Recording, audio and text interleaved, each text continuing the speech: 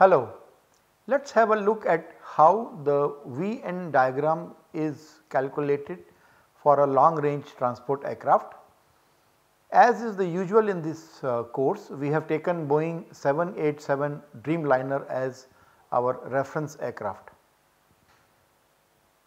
Let us look at the color scheme in this presentation which is also standard, you must be used to it by now. The general instructions are given in brown color if there are any values which are specified in any standard document or any online source which is taken as a reference, they will be shown in, in the black color. The values which are assumed or which are given in uh, the database are in the light blue color. Wherever we do you do some calculations there is a hint that it is in red color and also there is a pause button after that. So, I would request if you really want to learn to do these calculations properly, it is best that when you see the pause button you can pause the video, do the required calculations and then proceed further. The values which are calculated are going to be shown in the dark blue color and uh, any comparison is going to be in the green color but in this presentation of course we do not have anything to compare. Let us first start with a quick recap about what is a VN diagram. At this point I suggest if you have not watched the video clips regarding VN diagram, it is a good idea to first go and watch them and then do the tutorial. But those of you who have already watched the video clips, here is a quick recap about a VN diagram. It is basically a structural operating envelope of the aircraft. In this uh, diagram we plot the limit load factor versus the air speed. But this is applicable only for symmetric maneuvers in the xy plane. We use equivalent airspeed on x axis. The reason for that is very clear because we want to use the same diagram for various altitudes. Usage of equivalent airspeed allows that to happen.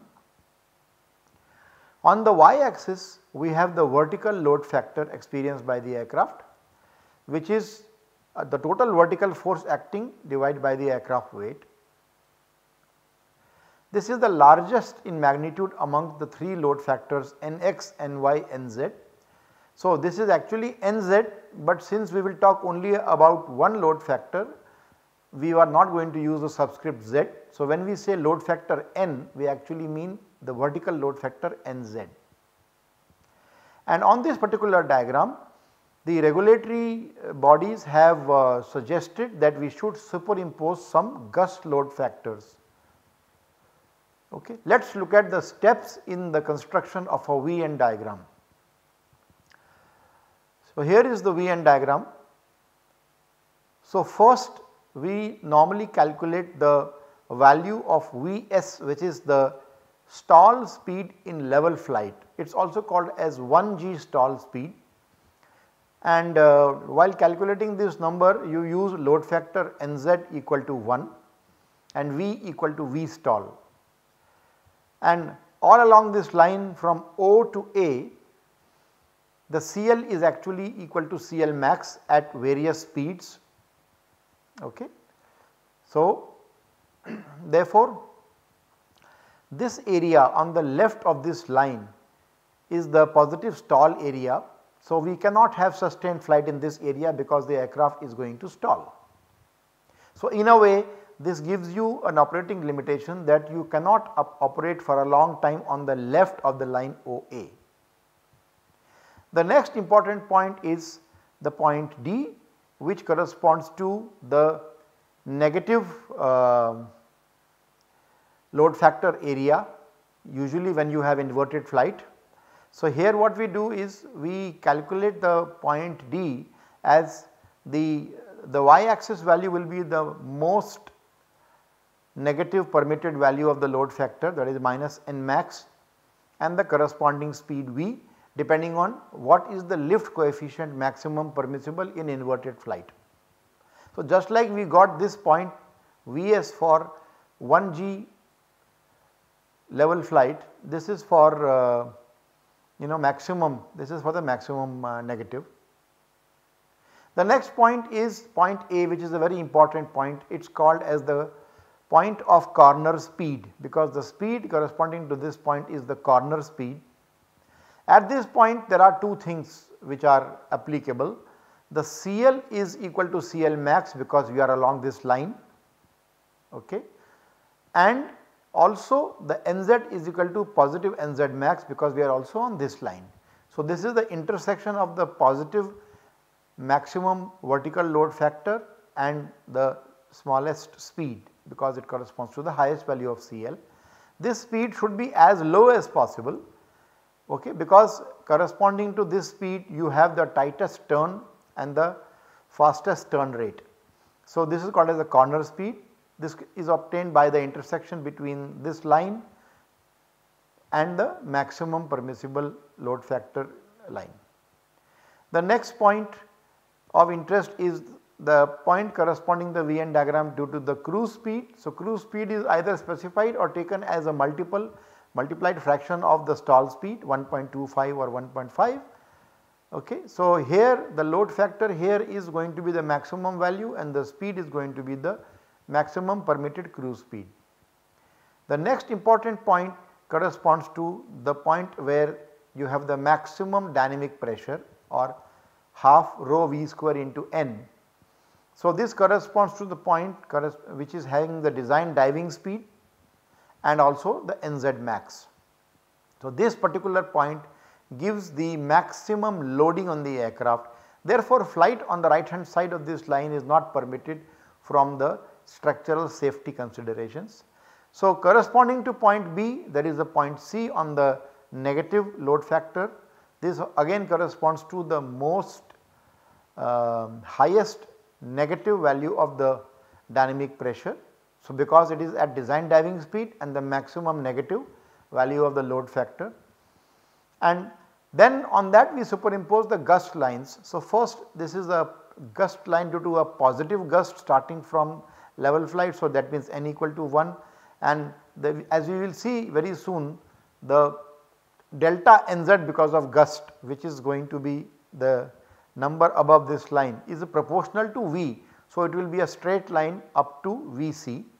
Similarly, there will be a another straight line up to the highest speed at which you are allowed to fly inverted in this diagram or in this sketch it is shown that this speed is lower than the speed Vc for the uh, positive uh, flight, but it could also be the same it depends on the specifications of the aircraft. And then up to design diving speed we have been asked to also plot the delta nz both in the positive direction and in the negative direction as shown here. And finally we just join these lines from cruise to design diving speed both in the top of the graph and the bottom of the graph. So therefore, if the dark lines shown earlier correspond to the limit maneuver VN diagram and if the these lines correspond to the limit gust diagram. So if you superimpose these two this particular curve the outermost curve is going to be the limit combined envelope. Now let us start doing the calculations for our aircraft Boeing 787-8 but before we proceed we need to recall some of the important data and specifications of this aircraft. First let us look at some aircraft related specifications. This aircraft is uh, designed for a maximum gross weight of 476,000 pound which translates to 215912 kilograms. Wing area is 3870 square feet which translates to 359.53 square meters. The wing aspect ratio is 10.58. The sweep of the maximum thickness line is 30 degrees. This information will be needed for calculating the value of the lift curve slope which is needed in the estimation of the additional load factor due to gust. Maximum positive lift coefficient is 1.91 and we do not have the value of maximum negative lift coefficient. So, we will assume it to be 1.00. Remember this data is not available so we have just assumed it. As far as the operation related parameters are concerned, this aircraft has a cruise Mach number of 0.85. Uh, its design cruise speed as specified in the regular in the document is 393 knots equivalent airspeed which can be converted uh, by multiplying by 0.51444 to get meters per second. If you want to do a more accurate conversion you can multiply the knots with 1852 to convert it into meters and then divide by 3600 to convert hours into seconds. Similarly, the design diving speed is given as 426 knots EAS which converts to 219 meters uh, 0.5 meters per second. The maximum positive load factor that this aircraft is designed to sustain is specified in the sample analysis as 2.54 and we do not have any information regarding what is the maximum negative load factor. So, as specified by the airworthiness agencies if the designers do not specify the maximum negative load factor it can be assumed to be at least half of the maximum positive load factor. So, please note that the maximum negative load coefficient of 1 and maximum negative load factor of 1 point minus 1.27 are assumed values in this particular analysis. Let us look at the FAR 25 regulations for gusts. So, these regulations are explained in detail in 14 CFR 25.341 titled Gust and Turbulence Loads.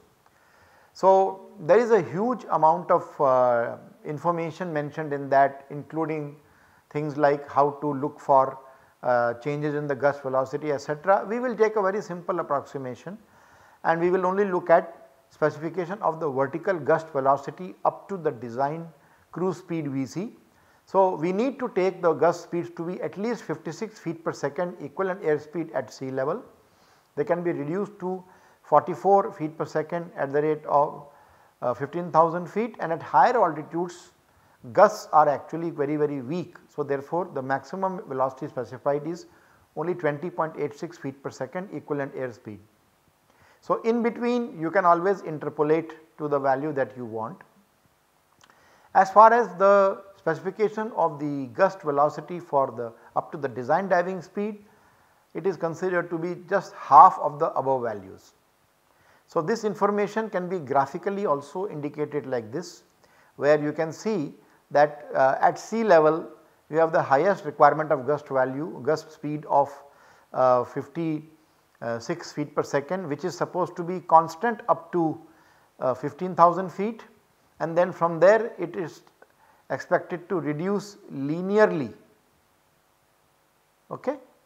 It, uh, uh, then uh, if you look at the specifications at 15,000 feet it is 44 up to 15,000 and then again it is uh, reduced linearly and if you look at the design diving speed the value is 20.86 up to 15 up to 15,000 feet and then again it is um, to be linearly reduced. In our case we are going to look mainly at the situation at sea level. So, therefore, we are only going to be concerned with this velocity 56 feet per second EAS at sea level and of course, the uh, value up to design diving speed which will be half of this or 28 feet per second. Let us look at the calculations at sea level. So, this is uh, our VN diagram for uh, a reference. First let us find out the value of stall speed at n equal to 1 that means the 1 g level stall speed. So, this can be estimated by a simple formula 2 W divided by rho SCL max where you have to multiply the value of W with uh, G to convert the value into newtons per meter square from kg per meter square or to convert the weight uh, W in kilograms to newtons and we have to use CL max positive which is 1.91. So, at sea level conditions if you replace these if you replace these uh, symbols with the appropriate values you should be able to get the estimate of the stall speed. At this stage I would request you to pause the video and do this calculation. The value turns out to be 70 meters per second. So, the 1 G level stall speed for this aircraft is 70 meters per 70.9 meters per second under sea level ISA conditions. Next we look at the corner speed. Remember for the corner speed we both have CL equal to CL max positive and load factor N will be equal to the N max which is 2.54. So you can see that it, the value for corner speed will come from the same equation except W will be replaced by NZ max times W.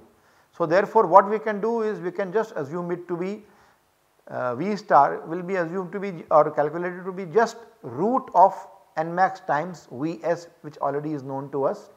So it will be root of 2.54 times 70.9. Please pause the video, do this calculation. The value turns out to be 113 meters per second. Next we look at what is the value of velocity when n is the maximum negative value that means we want to get the value of v corresponding to this particular point. Okay. So, at that point again the formula is the same only we replace n with n max negative and we replace CL with CL max negative. Okay. Be careful about uh, the signs because we are going to have a square root so, because I know that in the numerator we have minus uh, 1.27 the load factor and the denominator we have minus 1 therefore I have just uh, avoided putting the minus sign and I am getting the value directly. At this stage please pause the video and have a look at the calculation. So, V at minus n is going to be 97.8 meters per second. These three values please remember because we will need them in the future when we plot our VN diagram. So, this is our limit maneuver diagram or the limits imposed because of the maneuvers in the study xz plane. Okay. So, the first number that we have already calculated is the, uh, the this particular point which corresponds to the stalling speed in 1g level flight. So, here n is equal to 1 and v as we just now calculated is 70.9 meters per second. The next point is the point that corresponds to minus 1 the value of stalling speed at minus 1 g. So, what is the minus 1 g level flight stalling speed in inverted flight. So, this one will be also along the same line and the only thing is n will be equal to 1 minus 1. So, for that there is a corresponding value of 97.8 meters per second. The next point is the corner speed which we have just now calculated corresponding to maximum NZ 2.54 and also along this line. So, the intersection of these two lines that is V star the corner speed the value is the coefficients of this particular point are going to be for the x axis it will be 113.0 that is the corner speed value and for the y axis it is going to be 2.54. Next point is the design cruising speed point. So, this particular the coordinates of this point if you see here they will correspond to cruising speed which is 190 and uh, the value of nz here is maximum. So, for Vc we have this particular point. The next point is point B which corresponds to the maximum design diving speed and also the maximum load factor. So, that would be 219.5 and plus 2.54. Corresponding to B there will be a similar point C which will have the same design diving speed value 219.5 but NZ is going to be now the maximum negative which is minus 1.27 and finally we have the point D where we have the value of velocity at which the load factor has the maximum negative value of minus 1.27. So, you are on this particular line and on this line CL will be maximum CL permitted for inverted flight or in the negative uh, condition maximum negative CL and NZ will be the maximum ne negative permitted load factor. So, this point is analogous to the corner speed, but it is in inverted flight. Okay. So, this is the limit maneuver diagram which we have already plotted for this particular aircraft. Let us now look at how to estimate the additional gust load factor and how additional limits get imposed in the VN diagram due to these additional gust loads. For that recall from the previous uh, uh, video on uh, VN diagram we have already uh, shown there that the additional load factor due to a gust delta Ng is equal to A into Kg into Vg into Vc into rho into Sw divided by 2 times W. Here uh, Kg is uh, the gust alleviation factor which uh, is defined as 0.88 times mu g upon mu g plus 1 where mu g is a factor that depends upon the W and S or the wing loading, lift curve slope the and the mean aerodynamic chord C bar. Okay. So, we notice that larger the wing loading W by S, smaller the lift curve slope and smaller the chord, larger is the value of mu g and then that adds that adds in the calculations here. Okay. So, now the value of A that is needed here for the uh, calculation of lift curve slope and also here for the calculation of mu g is the dCl by d alpha of the aircraft which can be shown to be 2 pi into A upon 2 plus root of 4 plus A square beta square bracket 1 plus tan square delta m by beta square bracket close. So, where this delta m beta A are aircraft related parameters, beta is basically 1 minus the cruise Mach number. So, in this case Vg here is the specified vertical gust speed which we just now saw. Vc is the cruise speed or the or the diving speed depending on which condition we calculate. Rho is the density of air which is used in the calculations here. Then uh, W is the aircraft weight that is this W and S is the wing area. Many people use W by S directly in this particular calculation. So, in that case S comes below and this becomes 2 into W by S okay and similarly mu g becomes 2 upon A uh, 2 W by S by A C bar. Then the value A here is the wing aspect ratio as I mentioned to you delta m is the sweep of the maximum thickness chord line and C bar is the mean wing chord. So armed with this information we will now first calculate the lift curve slope for this aircraft. Then using that we will calculate the value of mu g. Once we know mu g we will calculate the value of kg and once we know kg we can put kg here in the expression and get delta ng.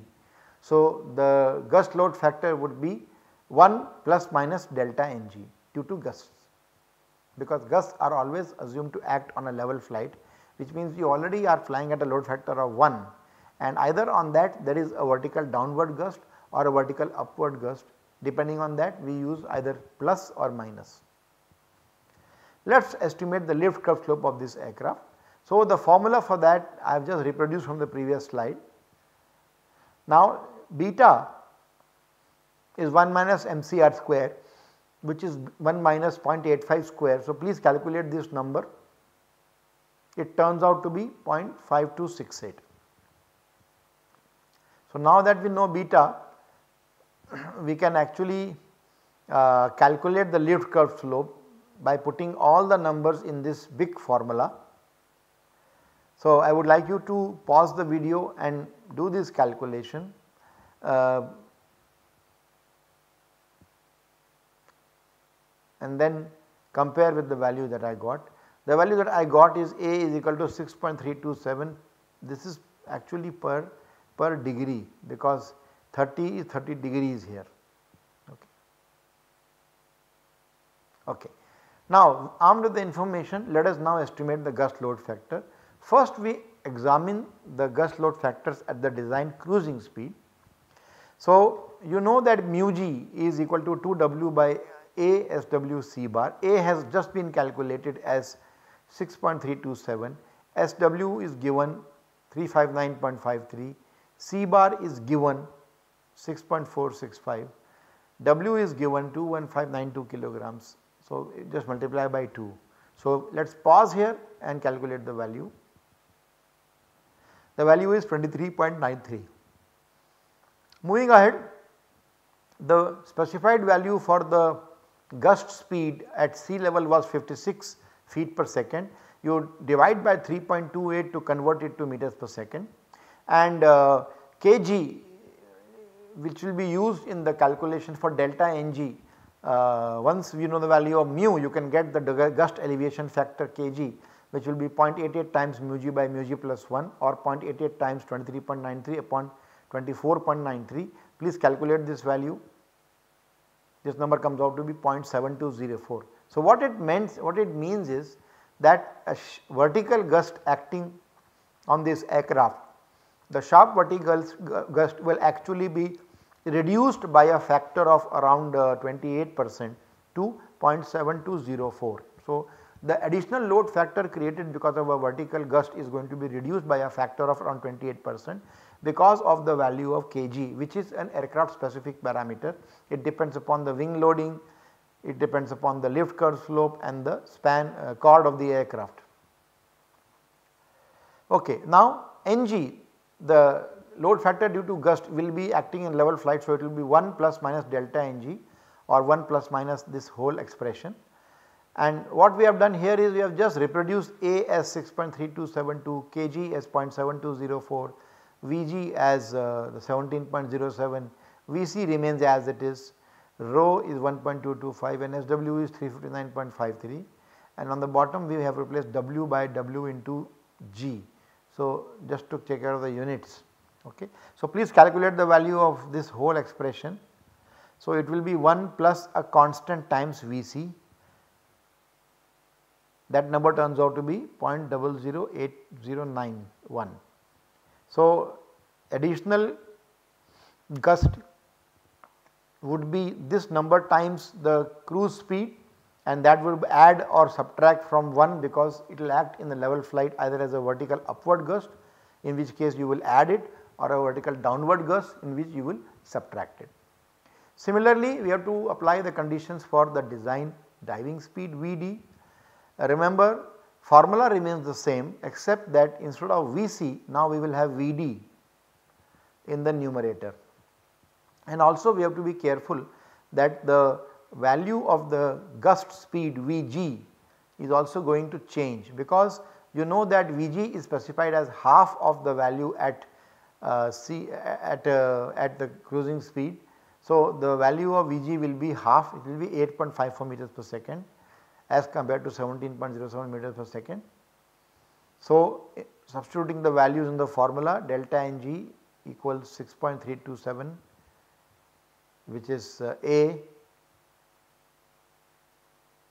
these are the other parameters like uh, area, okay, weight ng etc. I would like you to pause and calculate the value of delta ng. The value comes to be 0.004053 times Vd. Okay. So, therefore, ng the gust load factor due to a vertical and downward gust acting at the design diving speed would vary as the speed so, from 0 to Vd with this particular formula 1 plus minus 0.004053. So, notice that this Ng versus V will be a straight line and it will go it will start from Vc equal to 0 it will become 1 and when Vc equal to whatever value is there for the design for the design cruise speed it will add a number to that. So, it will be a straight line with origin from the point 1 comma uh, 0 comma 1 okay. Similarly here so, let us look at the limit gust envelope. So, the first uh, equation is Ng equal to 1 plus minus 0.0081 8091 Vc. This is for the vertical gusts acting up to the cruising velocity when the gust speed is 56 feet per second. So, from V equal to 0 to V equal to Vc we will just get two lines like this where this point will correspond to you know it will correspond to uh, 0 comma 1 level flight.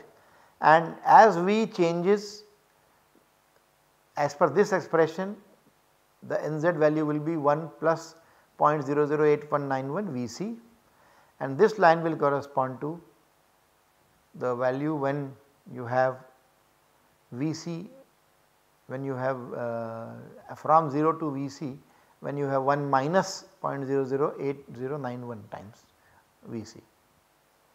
Similarly, if we look at the line for the uh, additional load factor up to the design diving speed. So, we notice that once again we get two lines which start from the same point 0 comma 1, one of them increases the other of them decreases. This increases because this is equal to 1 plus a number which is never going to become less it is only going to only increase and this is going to be 1 minus a number ok. So that will depend upon the value. So you can see that even when you are at design diving speed you still have some vertical load factor. And then finally what we do is we just join these from straight lines from Vc to Vd on positive and from Vc to Vd on negative. So this is the limit gust envelope that means eh, if you are in a if you are flying an aircraft and if there is a gust acting on the aircraft in level flight the aircraft can go into any of these areas. So the aircraft has to be strong enough to withstand the loads that come when the uh, operating point is within this particular area. So on this I have just superimposed the previous VN diagram. So we see that uh, there is not any problem because of uh, gust no additional material comes out. I mean the gust envelope is almost completely inside the general maneuver envelope. So in this case it turns out that uh, the gusts are not imposing any additional limits, but that is not true always that is not always true. So here is our limit combined envelope, here is our limit combined envelope in which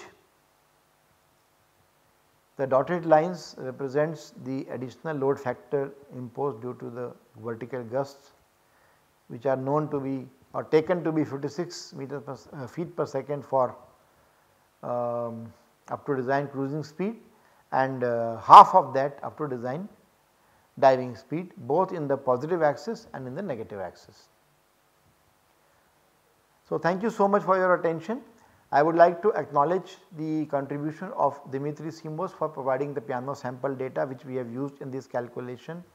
Uh, Professor Mohammad Sadraey for uh, his excellent textbook on aircraft performance analysis in which this particular VN diagram calculation procedure is very nicely and lucidly explained and I have taken it from there and also some of the sketches that you have seen in this uh, presentation. And last but not the least I would like to thank Nomanuddin for help in creating this tutorial and plotting the VN diagram. Thank you.